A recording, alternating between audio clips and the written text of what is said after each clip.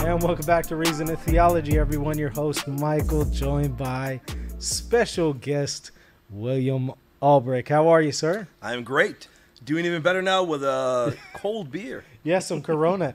We, we had a little bit of difficulty getting these. So the first store we went to, we tried to get some Modelo's, Yeah. but then they did not accept cards. So we handed them cash. They didn't accept cash either. So. I, I didn't. I didn't get it. I didn't get it. But hey, we we got some. but we uh, ended up some beer. securing some. So We we, did. we got some Coronas at the end of the day. We so sure here we are. I feel like we're on Drink Champs though, because I see all the all of those all the drinks there, Coronas yep. and beers out every, everywhere. So we'll do a beer stream. That, that's, That's how we'll, we'll pitch this one. We've done it before. It's been I a know, while. right? But Yeah. not in person. This Never is in the person. first time in Be person. the first time. Yeah, it's been a while since we did that. That was probably like a year and a half ago. It's been a while. Yeah. yeah, because let's see, it started RNT about three years ago, just a Yeah. little over three years ago. Yep. And then we started doing videos together probably two years. About two years. Yeah. In fact, I think I had you on the first time was Purgatory. Purgatory. I remember now. Yeah. Yeah, It was yeah. Purgatory. You're right. I was like, man, okay, well let- let's let's get them on more. And yeah, so- yeah. I remember that. Yeah, yeah. So it's been it's been awesome having That's you been a as blast. co-host, and like I said, good to have you here in person. Oh, it's So- a blast. What we're doing is talking about the papacy in this Yeah. one. This is a fun topic. You know, we covered the Immaculate Conception, another one that often comes up with Protestant circles and Orthodox circles, especially, is the papacy. So I wanted to talk about that. Now, in the last video, you mentioned that for you, though there are other factors that Yeah. came in to your conversion from Protestantism to Catholicism, the papacy was a big one. Yeah. Tell me why. Yeah, well, the, it, it really played a, a, a very big role. Number one, when I converted from Protestantism, but of course, as I considered my way to Orthodoxy and Catholicism, then of course it becomes a whole different angle where you look at Yeah. evidence for the papacy. And I began to look at the history of the papacy throughout the early church. Pope St. Clement of Rome, very early on, Yeah. and on and on, leading all the way up to and beyond Pope St. Leo the Great. Yeah. And I, I became ever more convinced of the incredible role of the Pope throughout history. Now, of course, I may be getting too far ahead of myself. Before that, of course, as we know very well, the clear foundation of the papacy is in Scripture. True. Uh, it, it truly is. So that laid the groundwork for me. Scripture, of course, that was very clear, to steering me out of Protestantism. But then, of course, a lot of the claims that we can make for the Yeah. papacy, we know very well the Orthodox will say, okay, I can be on board with that. Yeah. But we know that that then changes when we go into history. And in my opinion, the evidence for the papacy uh, on the Catholic side is much stronger. Do you feel like on the Catholic side, some of the evidence that has been put forward sometimes is reading too much into it? Not that there isn't strong evidence, Yeah. but what I'm saying is in popular apologetic circles. Yeah. Do you feel like some of the evidence that is put forward is eh, not necessarily the best that we have to offer? I do. I think that there is a tendency to grab papal sound bites, Peter's sound bites, where you will have a quote of Peter as being the head of the church, Yeah.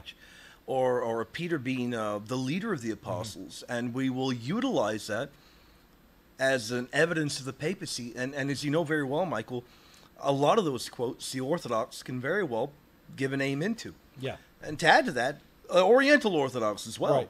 So, what separates us um, when it comes to how we view the papacy? Mm-hmm. I think that we need to go beyond mere quote bites. Sure. But here's another thing. I think that once we do go beyond that and we look at the context, in my opinion, scripturally and in the early church, there really is no other other position. Now, the papacy is most certainly one of those distinctive teachings that if you were to embrace it, it's like the only real option that you Yeah. could go to. is Catholicism. Yep. But it- you then mentioned there, okay, but there is a certain form of the papacy, if you will, that Orthodox can accept. Yeah. How different do you think is maybe a high Orthodox version of the papacy is compared to the Catholic version? I think it is different enough that would warrant one to to convert to Catholicism. Yeah. I truly do think it's that different. Um, I think that we are living in a time where people are looking at the quotes of the papacy and people that are Orthodox, and they realize, well, this doesn't quite jive with the way my view of the church is today. So they begin to read uh, into history kinds of words or teachings that uh, they're they're kind of Yeah. ripping out of the context. Yeah, like, yeah. for example, one one incredible example I could think of are the words of Pope Saint Leo the Great, the Tome of Leo at Chalcedon. Okay. Uh, it's, it's amazingly evident that Pope Saint Leo the Great viewed his position as that of papal supremacy. Sure. There's just really no way around that. Right. And the language is very clear. And to deny that to me uh, is is uh, you're going to be doing mental gymnastics. Sure. Yeah, Leo most certainly held to what I would understand to be the view of Vatican One on Yeah. papal supremacy. I, I don't think that that is disputable. What I guess my concern is whenever I see some Catholics pointing to the language in, at Chalcedon, Yeah. um, where it says, you know, Peter has spoken through Yeah. Leo, right? Um, Im- immediately thinking that that automatically proves Right. The Catholic view or that the Chalcedonian fathers Sure. accepted the Catholic view of the papacy. I'm not saying that they didn't, Mhm. but what I'm saying is, what, or I guess what I'm asking is, do you think that that alone is enough to really I settle don't. the matter? no, I don't. I think that you must supplement it with much more. Yes, yes. Uh, l- number one, look at uh, how was the Tome of Leo accepted or received, right. and then uh, supplement that with uh, how did Leo view himself, Pope Saint Leo the Great, and then if he viewed himself in this manner, where was the uproar on the uh, side of those that accepted his tome? And the other thing, as well as we know very well, is that Pope Saint Leo the Great's tome was essentially saying the same thing as uh, Saint Cyril was saying in uh, at Ephesus in his Christological position. So then, when we see that, we realize that Pope Saint Leo the Great uh, was in line with the great Christological teachings, and we realize how much the teachings at Chalcedon impacted the church. Yeah.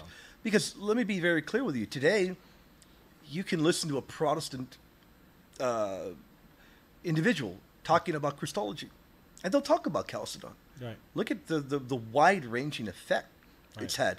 But then look at the claims Pope St. Leo the Great made for himself. Yeah. He clearly viewed a lot of, he viewed the power of those keys as being given to the successor, St. Peter. and he thought that he exercised them in a unique yeah. way.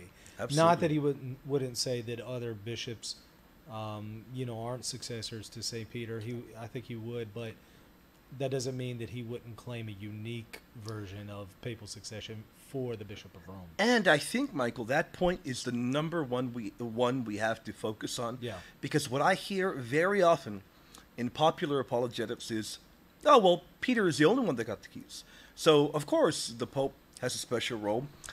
Then they fail to realize that the language lends itself to the fact that we recognize that the keys were received by the other bishops as well, by the other apostles. But St. Peter, in a very mm-hmm. special way, mm-hmm. received them.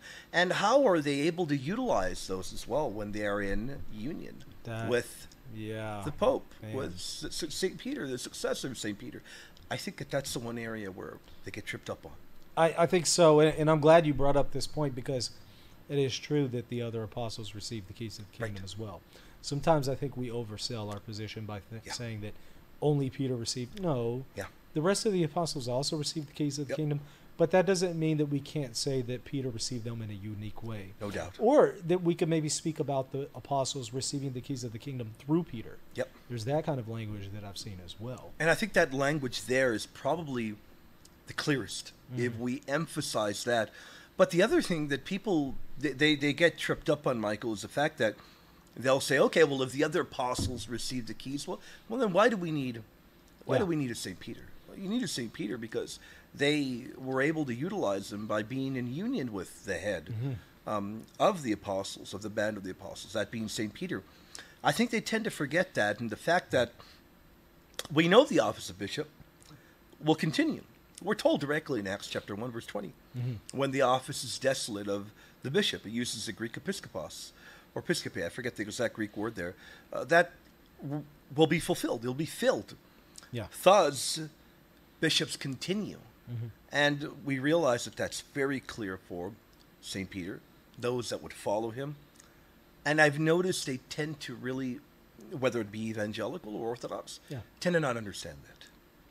You know, for those that say, as you mentioned there, that okay, well, why do we need a Saint Peter? Why Yeah. do we need a head? It, it- my my thing is, it's like saying, why do you need a body? Why, why do you need a head on a body? Um, Yeah. The the body can't exist without a head. It cannot. Yeah. Um, it, it seems like there does have to be that center of authority, the center of unity Yep. to really even be able to identify a particular communion. You have to have that.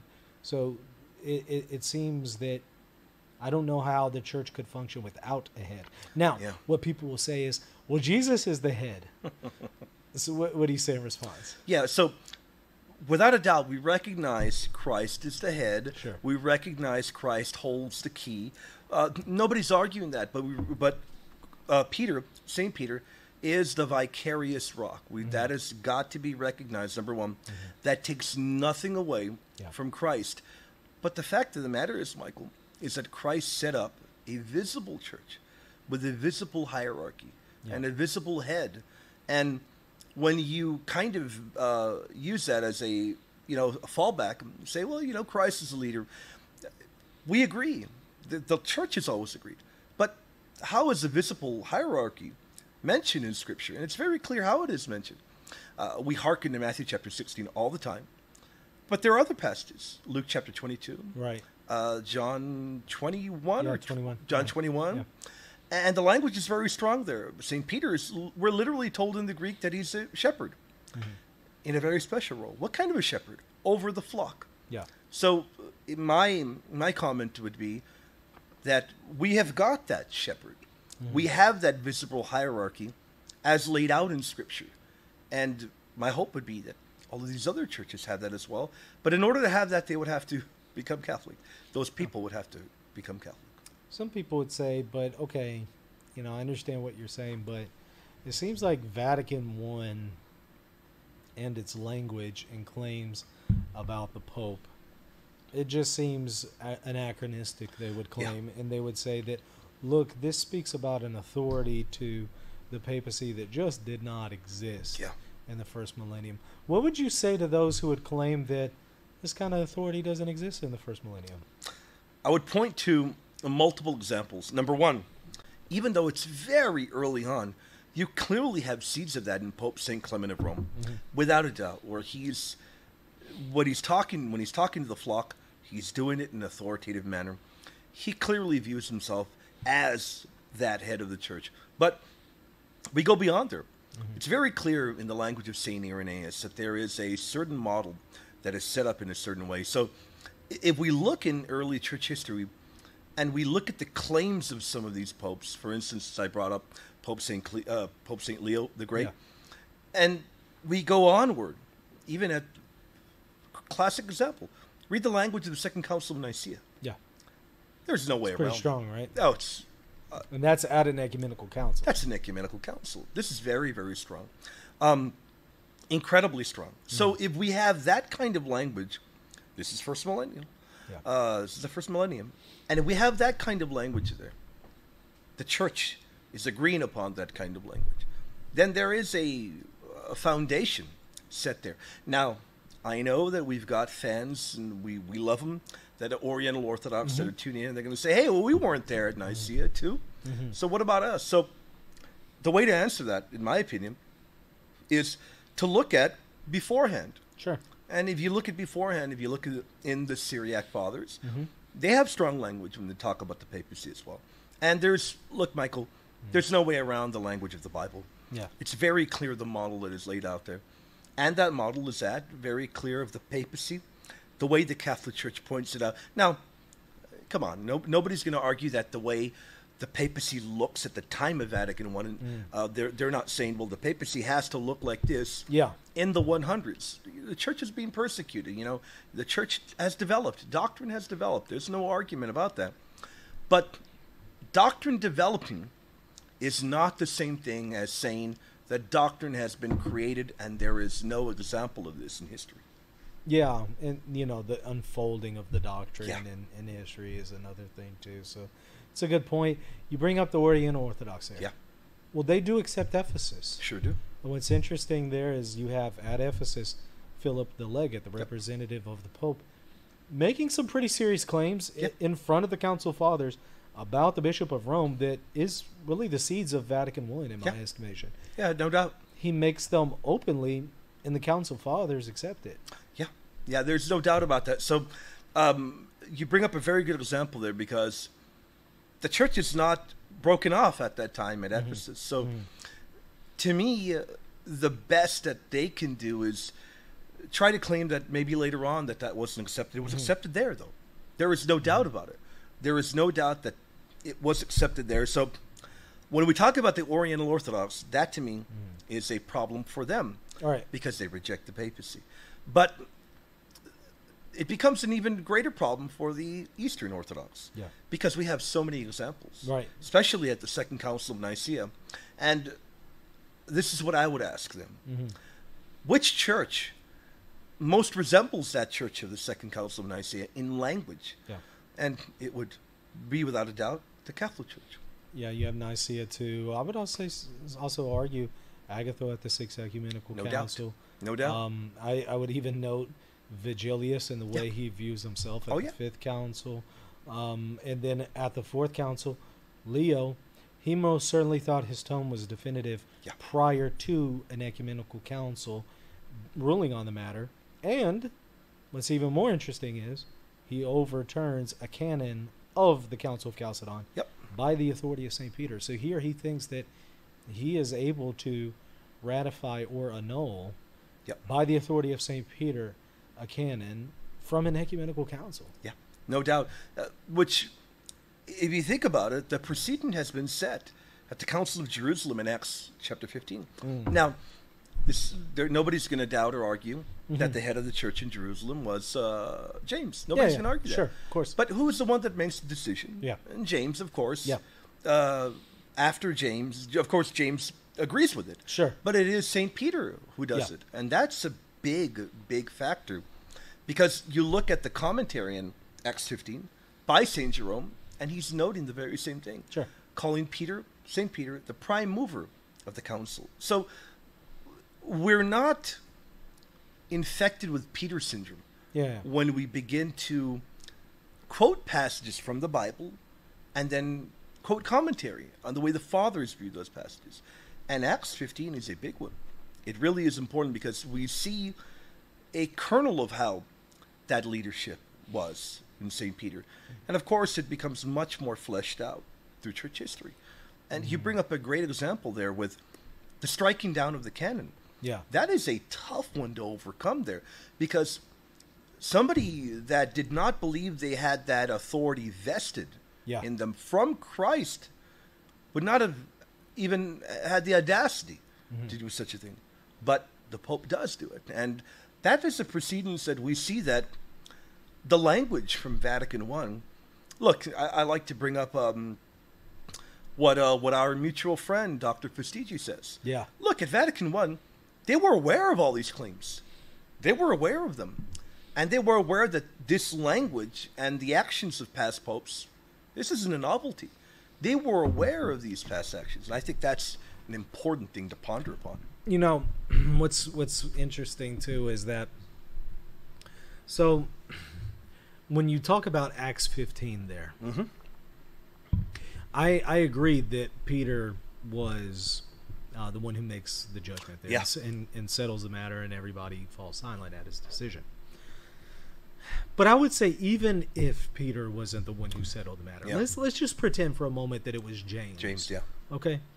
Um That's actually not a big deal, Right. Because at an ecumenical council, it's not the pope who necessarily has to settle the issue. That's It fantastic could, it could be the bishops who settle Yeah. the issue, and the pope merely ratifies. it. Ratifies it later. I mean, that's most certainly the case. Nicaea. It's multiple, yeah, multi, Nicaea Yep. and multiple other councils. Even the most recent ecumenical council, Vatican II, you don't have any ex cathedra teachings at Vatican II That's from the pope. You have the bishops teaching things, and Yep. arguably de- some, some things definitively. Lumen, Yep. Lumen Gentium 21, for example. You have them putting things forward, and the Pope is merely just ratifying Yeah. them. He's not saying, oh, by the authority of St. Peter, I declare definitively. He's not doing that. So I don't even think that we have to look back at um, Acts 15 and, and automatically look for something ex cathedra Yeah. because that's not actually how the Pope normally functions 100%. in relation to councils yeah.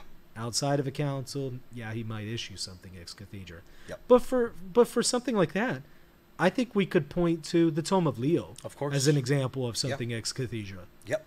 Um, but you know, what what would you say to people who say, "But okay, if you have the Tome of Leo, why did we need a council? Why Chalcedon?" Yeah, that's a very, very good uh, question. Well, the gathering of the people there at Chalcedon was viewed as quite necessary. Now, Pope St. Leo, his tome was not objected to. We have no record of anyone there saying, okay, well, Leo presented this and, you know, now it has to be, uh, you know, Right. considered Right. or what have you. So, despite him viewing his tome, and th- this comes from uh, a gentleman who I don't agree with everything he says, but uh, the Reverend Dr. Price, Yeah. what will he tell you? He'll tell you the very same thing. i'll say, look, he said, uh, they viewed the necessity, they viewed it n- as necessary to gather a council, Yeah. but not once was the Pope ever under the impression that the tome wouldn't be accepted Right. ever. So I think that's an important point to point out. Uh, the other point would be I'm not aware of any controversy at all on Pope St. Leo's tome. Right. Um, I'm trying to think of what else, what other points are, that are, Well, are brought up I, to. what what I think is interesting, and this is something that Eric has has brought up, Erick Ybarra. yeah, um, is that Leo in his corpus notes that he consents to the calling Yeah. of Chalcedon so that a fuller judgment Yeah. can be expressed, even though he already thought his tome Right. was definitive. Yeah. He is fine with an ecumenical council also providing its consent to it That's so that a fuller expression can be made. And, and somebody would say, well, look, if this thing is already definitive, Yeah. why a fuller expression? Well, it it's one thing for the Pope to teach something ex cathedra. Yeah. It's another for all of the bishops of the world to also say, and we are in agreement with this, That's and correct. express their, you know, express their fuller judgment. What, what do you think of that? yeah, I think that's a fantastic point that you bring up there, and that's the exact point that uh, Dr. Price, Reverend Dr. Price, brings up as well. So I think that's a really, really good point. Um, unfortunately, you're going to get an objection now from Eastern Orthodox, from the Eastern Orthodox perspective. Uh, I don't think they have a good case. I think what you just laid out there was fantastic. Now, the objection we get from the Oriental Orthodox, as you know, you've heard this uh, very often, uh, would be that reunion, and this is from certain people that are Oriental Orthodox, they'll Yeah. say, well, reunion could never be possible with us. Or I could never imagine myself being in communion with Rome because uh, that tome of Leo, they'll Yeah. say, you know exactly where I'm going, Yeah. uh, is heterodox. Yeah. Is utilizing language that is at odds with the language utilized by our guy. As you know very well, their guy is uh, Saint Cyril of Alexandria. Now, we've done shows in the past before. In fact, we've asked the Reverend Dr. Price point blank on his thoughts on the Christology of the Tome of Leo. Yeah. And this is all very relevant because we we will do a deep analysis of the language of Pope St. Leo's tome. Yeah. He is essentially utilizing the very same Christology Yeah. as St. Cyril. So if that is going to be their primary argument for rejecting Chalcedon, they're going to have to look for another one. I wholeheartedly agree, Yeah. and I think that that's a point well worth noting. Now, okay, so let's see where we should go with this. Would you, what would you say to somebody who says, "Look, I understand what you're saying in the first millennium. I, I- see the attestation that you're referring to in the Yeah. councils and these fathers, but Pope Francis." Yeah. You you really think that Pope Francis meets the description of the Rock and Yeah. and all the things that they say about the See of Saint Peter? It just seems like that they're you know Yeah. there's a point of disconnect there. Now- so so in other words, their their hang up is that okay, I can see this historically, but I just don't know about Pope Francis. you Yeah. know? The number one thing I would say is I have never been the biggest fan of Pope Right. Francis ever, but he is the vicar of Christ. Sure. he is a valid pope. He Right. is the pope, and in his defense, Michael, I think he gets ripped out of context so much. I think so. I really, really do. Now, uh, on the other side, to be give both perspectives a fair Sure. Do I think he can be more precise sometimes? I do. Yeah. I truly do. Yeah. But I don't think Pope Francis is heretical. I think I know he's the Yeah. Pope. He's the valid successor of Saint Peter, uh, and I think that there's a lot of good he does do. I truly do. I really do think. Uh, first off, we villainize him so much. Uh, the media does. Uh, the rad trad media does, uh, and I'm not naming anyone in particular. Sure. Well, why not focus on his help and outreach to the poor? Yeah. to the needy. Why not look at that? Why not look at the good as well? Um, so again, I've never been the biggest fan, but he does fulfill that. And hey, we haven't had many. We haven't had every single pope be uh, out front when their language of being Sure. the rock. We Yeah. haven't. So Pope Francis is a different kind of pope, but he's a pope. Uh, he truly is a pope. And I'd add uh, another thing. Uh, I've heard the argument, arguments against Pope Francis. I've seen the videos put forth uh, claiming, well, look, uh, he's denying this and this Catholic doctrine. Yeah. I have not seen a case for a denial of any of these Catholic doctrines. Not a good one. No, not a good case at all. A lot of misunderstanding, though. Sure. Yeah.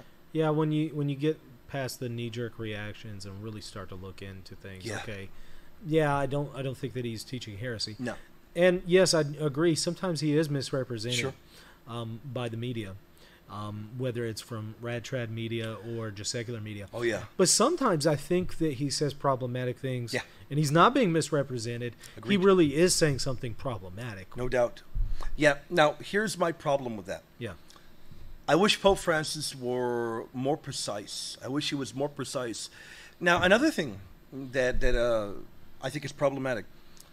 There's a, a very liberal atheist guy that interviews him very often, mm-hmm. and they'll he'll run with it, and it'll get denied by uh, Vatican media. It'll get denied. Sometimes, sometimes they don't even waste their time with it. yeah, To me, if he's going to continue that individual running with these stories, making them up or whatever, stop giving him private interviews. the fact that he continues to go to him kind of makes me think that there might be some truth to them. which is scandalous Yeah. and unfortunate. Yeah, In Pope Francis' official writings, there's no denial of things like the eternality of hell. right. There's no denial of Mary being immaculately conceived because I've heard people claim that he denies that.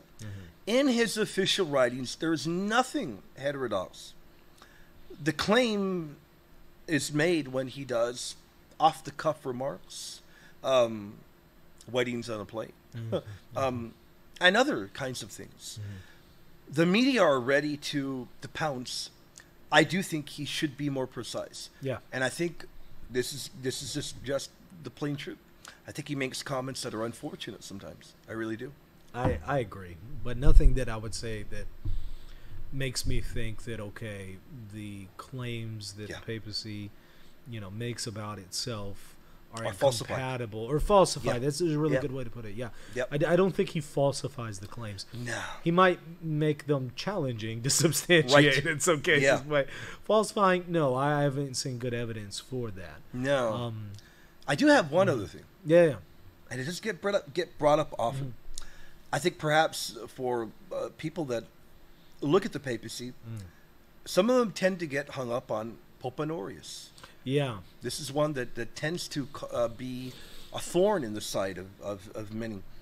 Uh, so I don't think the case of Pope Honorius, which is a curious case, I don't think it falsifies claims to papal infallibility Right. by any means. Right.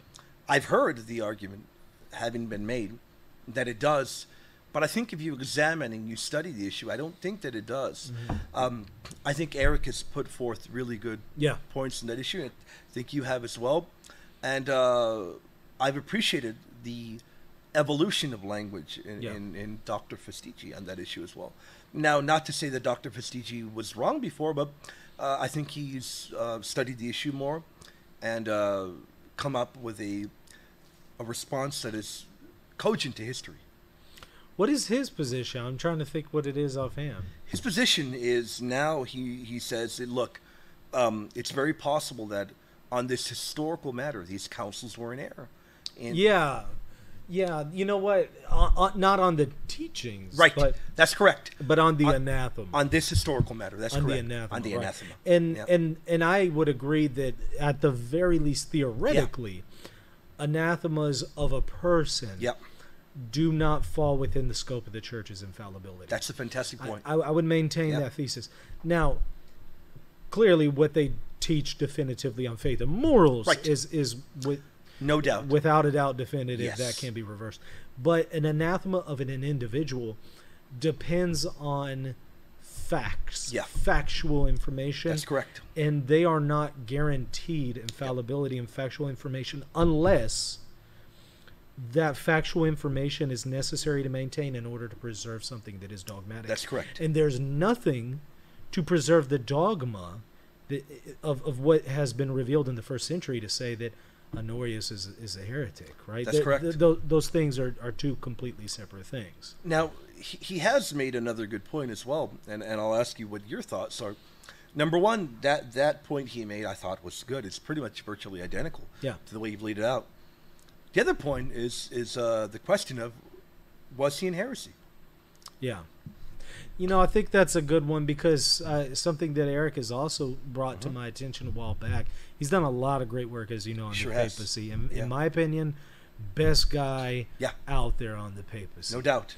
um, he he brought out the fact that well, John the Fourth, Pope John the Yep. Fourth, one of the successors of of uh, Honorius, wrote an apology Mhm. for Honorius, and this apology I, I read through it and yeah, it, it it makes sense and it shows okay that it sure does seem to be the case that Honorius was not actually teaching Right. something heretical. Um, what's also curious is at the Sixth Ecumenical Council, it doesn't seem like they accounted for that. That's it correct. doesn't seem like they really asked, well, what did he mean? And, Yep. and look into the defense for Those are all very important points.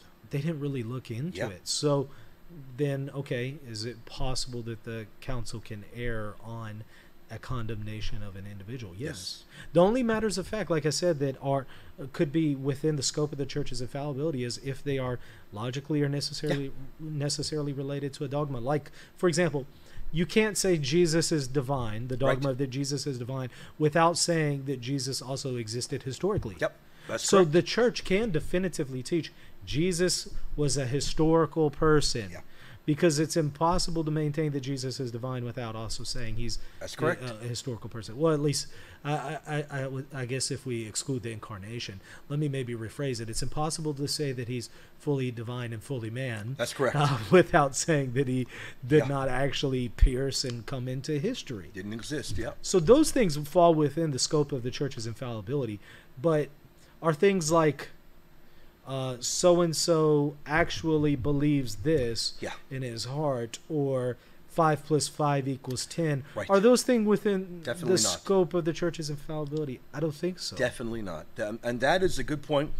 I, I think what it really comes down to, Michael, is the fact of what papal infallibility really is must be defined. yeah, People need to understand it. yeah, And then here's another thing that I hear very often from Catholics, and, and, and I don't agree with it, is the idea that papal infallibility has only been exercised yeah. twice. That's what I hear the, the majority of the time right. in church history. And of course, what they're referring to is um, uh, Munificentissimus Deus Yeah, yeah. and um, the Apostolic Constitution on uh, the Immaculate Conception. Right. So, um, Ineffabilis Deus. Yeah. So, I don't agree with that. Right. And I think usually that comes from the group of individuals that may not understand what papal infallibility Mm-hmm. is. Uh, what, what, are your thoughts on that? Do you think that, that Yeah, it, it especially today does. The point originally seems to come from a few group, uh, a, a- a select group of theologians that were in dialogue with Lutherans. Yeah. And I think what they were trying to do is downplay papal infallibility Yep. To be more ecumenically Sure. palatable to Protestants. And Yep. I, you know, I, as great as it is to build relations with the Protestants, we don't want to sacrifice Yeah. papal infallibility just for that, right? And that's the important thing. Uh, it, it- to become ecumenical to the point of removing very key teachings of the faith Yeah. or denying them is problematic. Yeah. And I think that's the number one point that we have to focus upon. Yeah. And when we do focus upon that and we realize, okay, uh, are we sacrificing Yeah. something of the faith, then that is problematic. And some might say, well, you guys sound like you're doing that with Pope Honorius. I don't think so for the reasons why we said, but let's just say that he actually did teach heresy. Yeah. Okay.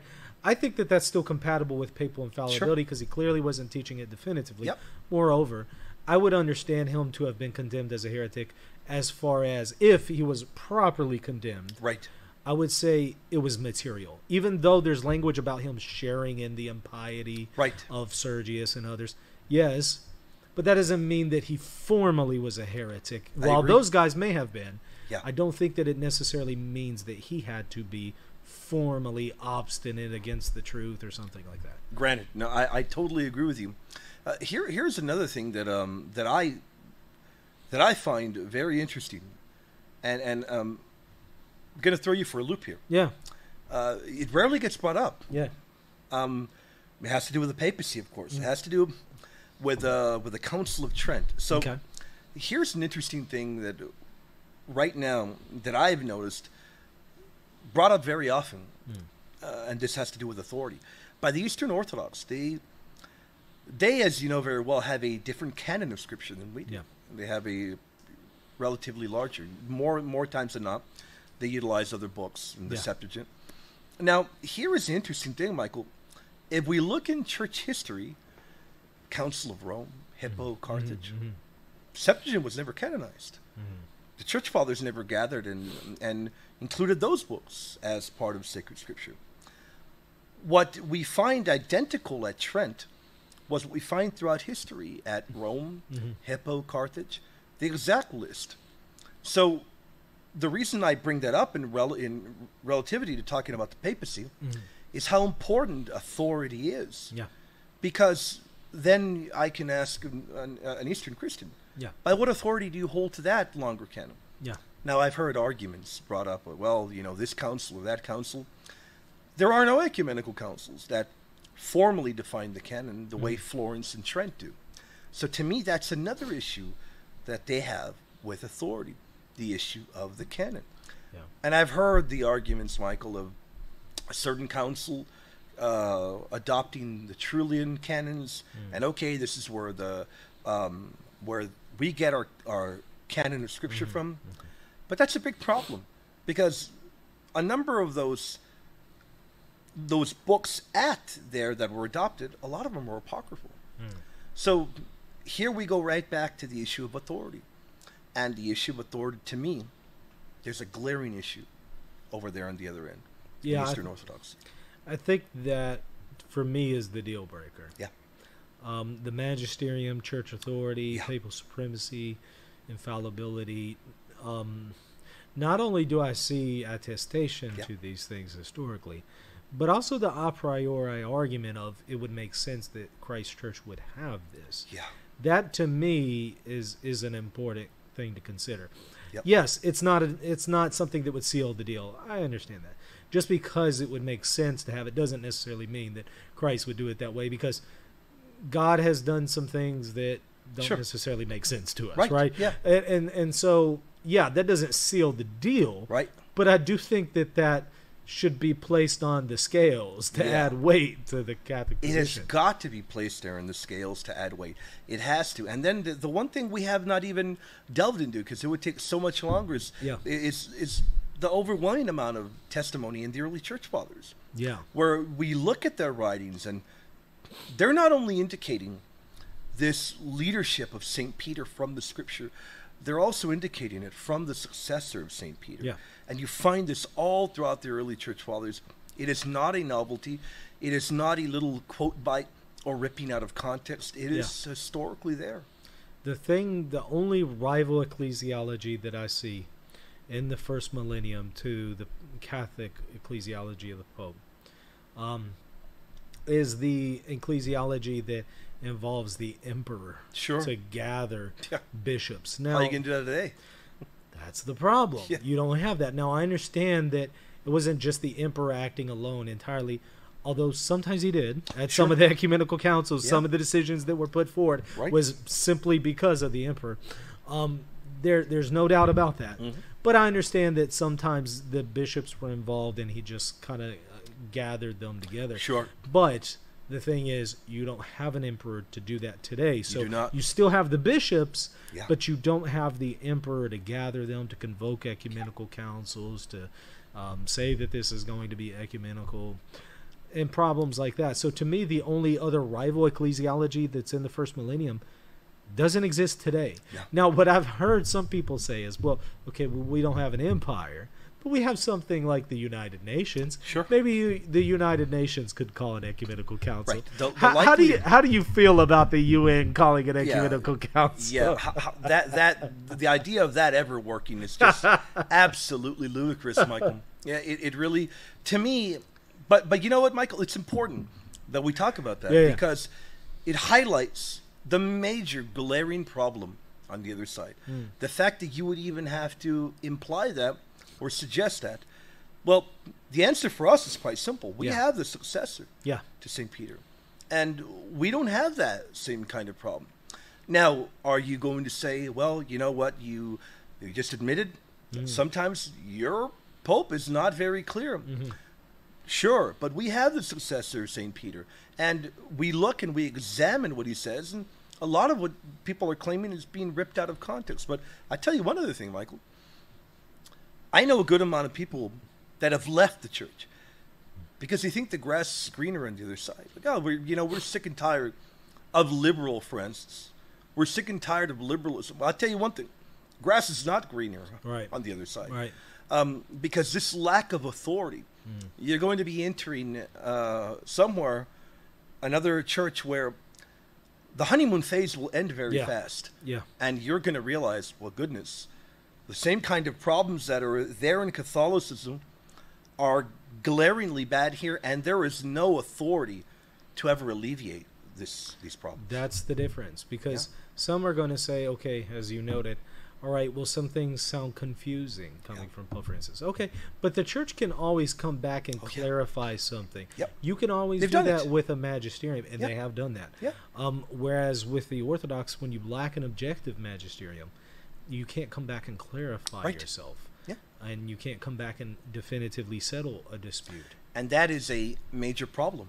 And I think when we, because we have to weigh the arguments fairly, and when we begin to weigh them fairly, Michael, and and we look at scripture, church history, delve into the council. Look, Michael, just read the language of the Yeah. councils. Yeah. And if you think that if you read the language of Nicaea II, Chalcedon, uh, any of these popes that we brought up, and you can come back to me and tell me, no, they, they didn't believe in papal supremacy or papal primacy, then you need to read them again. Well, see that that's the thing. You have Orthodox scholars who will Yeah. themselves note, yeah, the seeds of Vatican One is here in the formula of Hormisdas, and Yep. and so you even have Orthodox scholars who will recognize it. Yeah.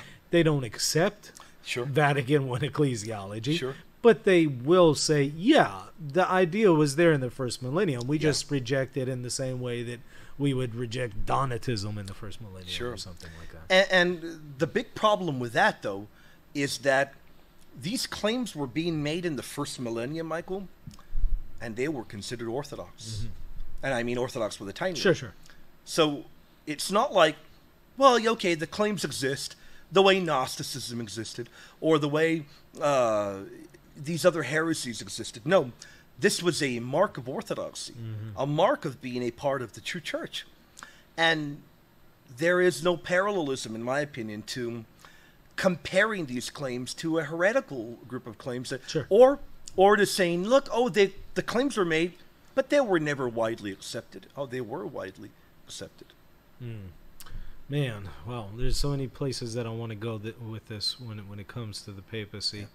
Um, what would you say to people who are who are saying, okay, well, maybe Pope Francis is misunderstood, but there are clearly popes historically that are problematic and involved in all kinds of scandals.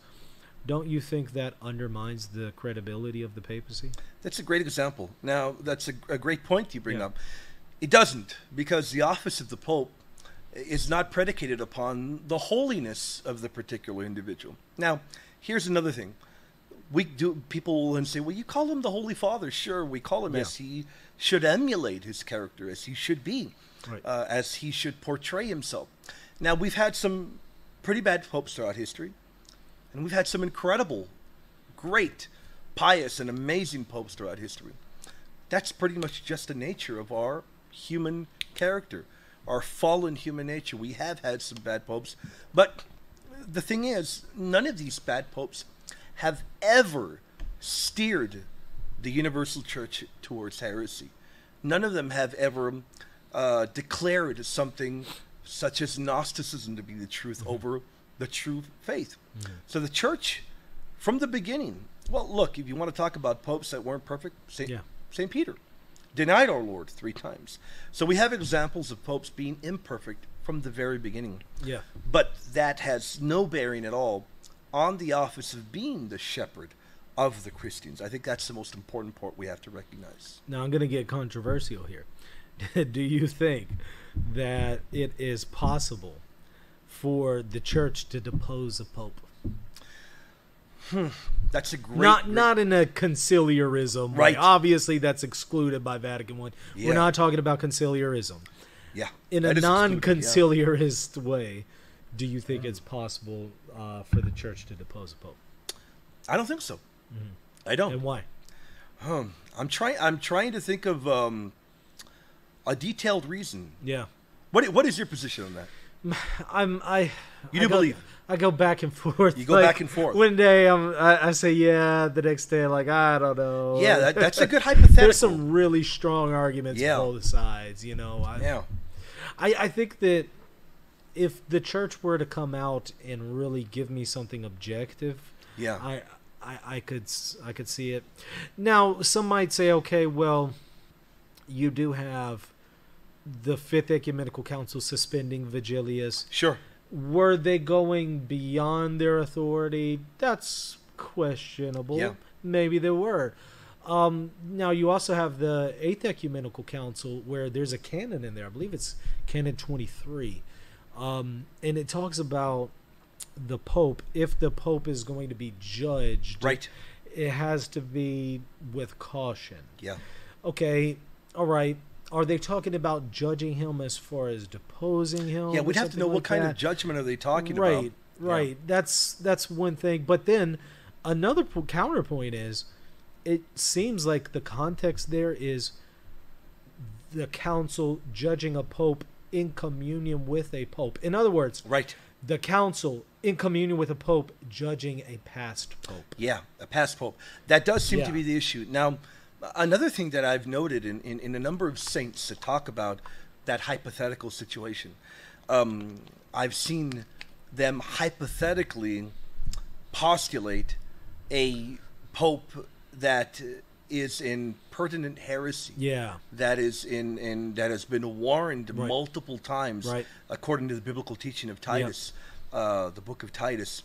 Uh, that, but again, each of these saints have Yeah. noted in a hypothetical Di- kind of manner. Different, and there's different views there. Some Yes. are saying that he would be automatically deposed. Right. Others are saying that this would never even happen. Yes, I And believe Saint Bellarmine, uh, Robert Bellarmine, Yeah, he didn't think that it would ever didn't happen. think it would ever happen. But he yes. thought that okay, well, if it does happen, he would be autom- he would automatically fall Sure. from office. Yes. But then there's others who would say, okay, well, even if he automatically falls from office, you still have to have the church that declares it. Sure, So sure. an imperfect ecumenical council Right. would declare that God has deposed Yeah. this pope from the the church. Otherwise, it's just kind of up to every individual to say, well, I think the pope's been deposed. Yeah, And- and and, and tha- that's a great point you bring up, Michael, because That has never been the model of the church Yeah. for uh, you know your everyday uh, person to just walk down the street and say, "Hey, Right. uh, that person is not the pope because they're in in heresy. Mm-hmm. They're a formal heretic, uh, or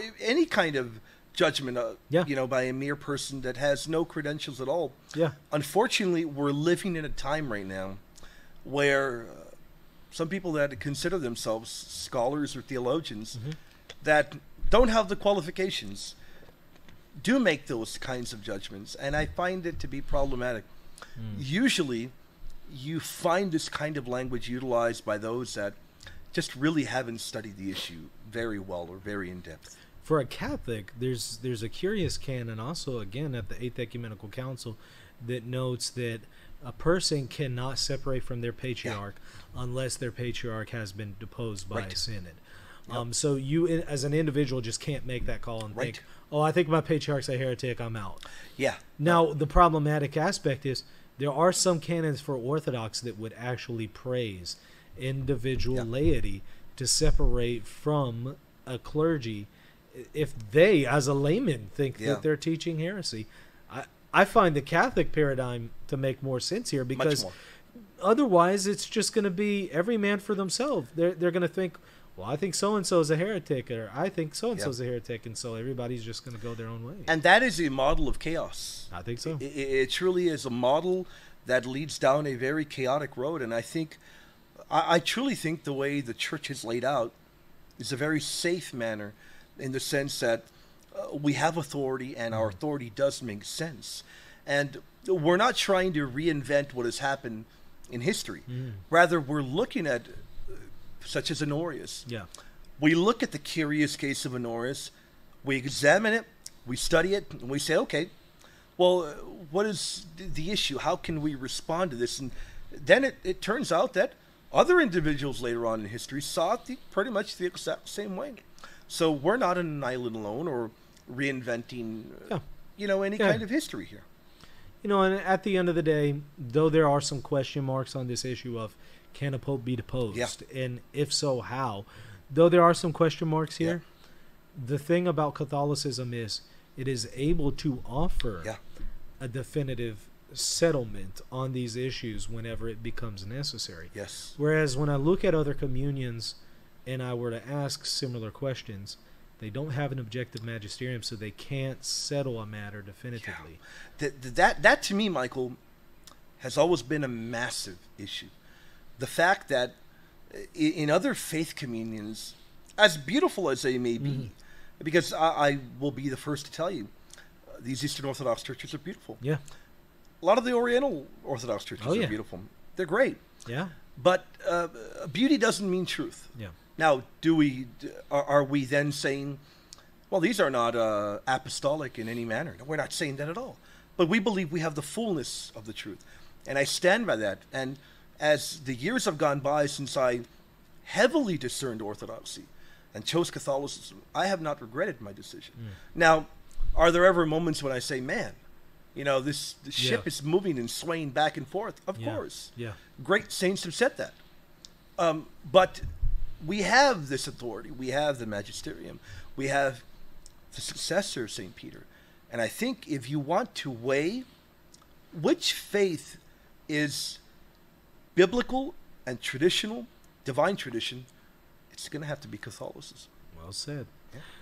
William, tell me a little bit about your channel and your material. Put in a plug for anything you want to make. Yeah, definitely. So people can find me, find a lot of my debates here, right here at Reason and Theology, doing a lot of great stuff in the future. They can check out stuff I'm doing over at Patristic Pillars. Check out my webpage at patristicpillars.com or go to earlychurchfathers.com. It'll take you directly there. Now, I am working on a book of the papacy, very different to other books. It's very much uh, devoted to Isaiah chapter 22 and Matthew 16 primarily.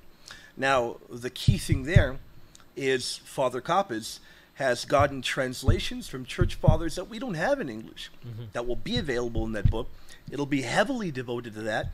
Now, there are other books out there coming out. Erick has an incredible book coming mm-hmm. out. Mm-hmm. Ours is completely different. Ours deals with that issue mainly. Erick's is going to be a monster, massive, incredible book. So we recommend you check both out. and I'm dealing, uh, doing a lot of work in Mariology. I recommend people check that out. In fact, we'll be having a debate either in the fall or winter time. Reason and Theology will be hosting it, so a lot of great stuff going on here. I recommend people, hey, stay on board. If you're watching this early, uh, that means you're supporting the channel. Keep supporting the channel because your support, I've got to tell you, is the reason we can do things like this. Your support is the reason we can have fun shows. Yeah. And hey, your support is the reason we can do our research and help present the material. If you've enjoyed it, please continue supporting. Yeah, and, and even bring out guests such as yourself. So, Absolutely. yeah, it's it's greatly greatly appreciated. Absolutely. William, thank you so much for coming on, sir. hey, I got to tell you, the conversation was incredible, and so was the beer. Thank you. it was good. Everybody, don't forget to subscribe if you haven't already. Patrons, I already know y'all are subscribed, but for everybody who sees this later on after early access, don't forget to subscribe to the channel. Check me out. Also, patreon.com forward slash reason and theology if you want to become a patron and get early access to other stuff and extra content uh, in addition to early access. So, all right, that's going to do it. We'll see y'all later.